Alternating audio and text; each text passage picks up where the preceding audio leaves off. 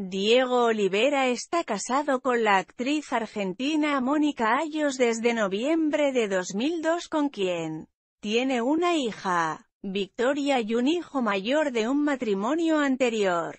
Diego Olivera es hermano del actor argentino Federico Olivera y cuñado de la actriz Soledad Villamil. Desde el comienzo de su carrera ha interpretado papeles de reparto protagónicos, coprotagónicos, villanos y estelares en las telenovelas.